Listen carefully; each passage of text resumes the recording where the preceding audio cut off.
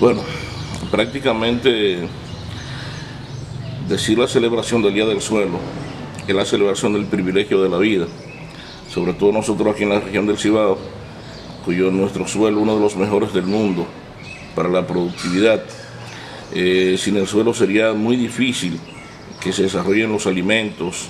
eh, lo que tiene que ver con la agricultura y la preservación del suelo es un componente uno a uno de los objetivos del milenio. Por eso nosotros los centros educativos trabajamos mucho con el reciclaje, que es el primer impacto que tiene la basura al tocar el suelo productivo. Y queremos invitar a la población de nuestro centro educativo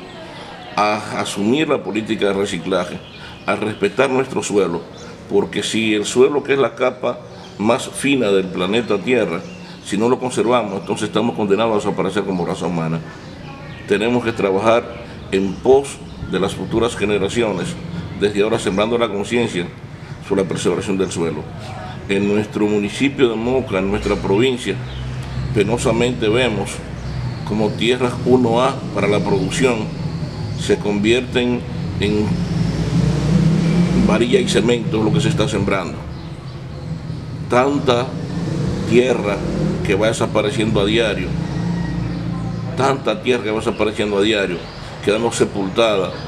bajo el concreto de empresarios, de compañías, que quizás por un poquito de falta de conciencia, de conocimiento, van haciendo que se pierda